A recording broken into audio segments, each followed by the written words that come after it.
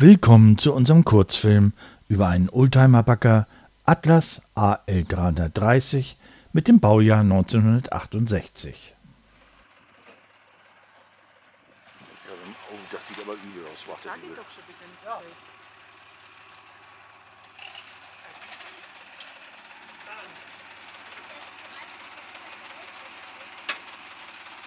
Ich glaube, auch viel anders vergeht's gar nicht, oder? Die Mitte hast du.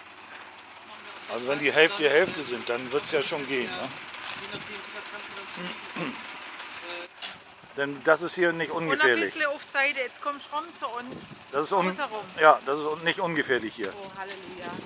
Die Daumendrucke, du bist für Daumendrucke verantwortlich. Halt, stopp, stopp! Dieser Bagger ist ein Anhängerlader und Einachsanhänger und dadurch eine in sich verbundene Geräteeinheit. Hier ist das entscheidende Merkmal die Tieflöffeleinrichtung.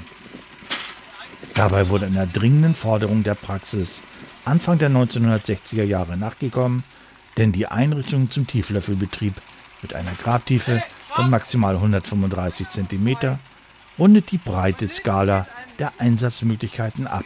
Halt, stopp, stopp, stopp! Durch die Vielzahl der Greiferwerkzeuge wurde alles noch wesentlich erweitert. Der Atlas AL330 arbeitet über das Zapfwellenlager und über die Zapfgelenkwelle nur in Verbindung mit einem Schlepper oder Traktor. Er kann sowohl für Erdarbeiten als auch für Holz- und Schüttarbeiten eingesetzt werden. Er wiegt etwa 1,6 Tonnen und hat eine sehr gute Hydraulik. Doch als wir in der Nähe von Stuttgart ankamen, um ihn abzuholen, hat es unentwegt geregnet.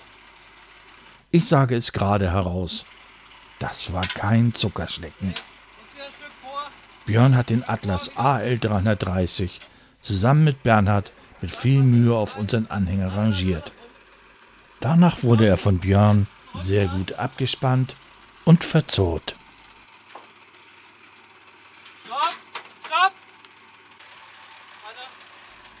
In unserem Kurzfilm zeigen wir euch, wie wir diesen Bagger auf den Anhänger bekamen.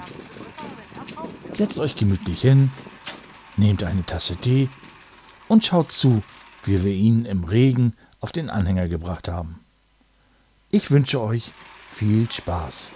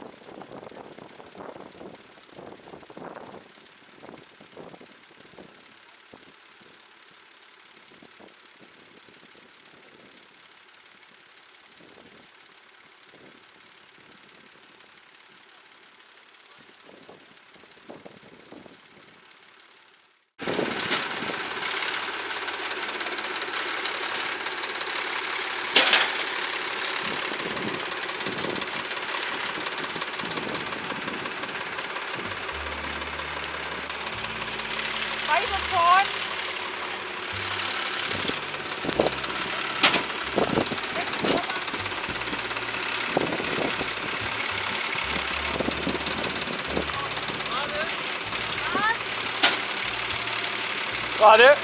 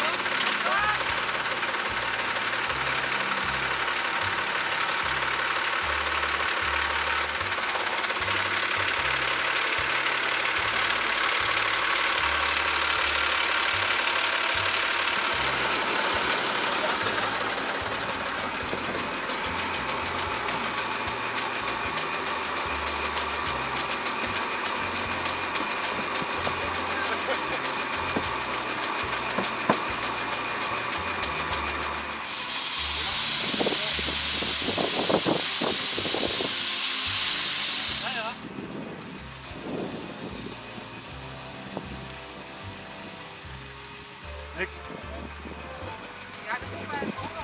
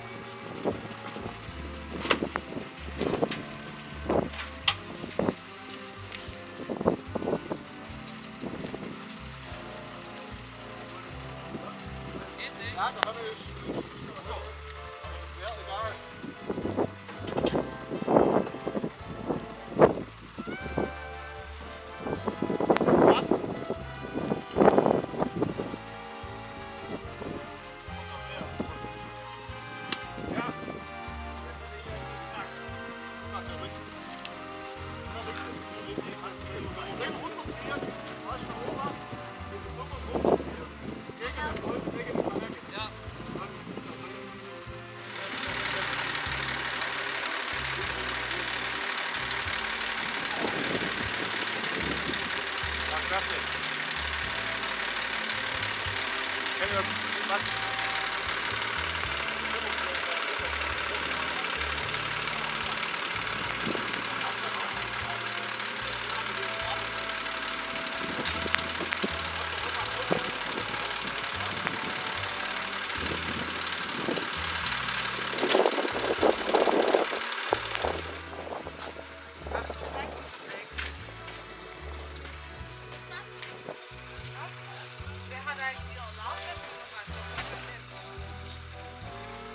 Weißt du eigentlich, wie Glück? Step by Step, genau.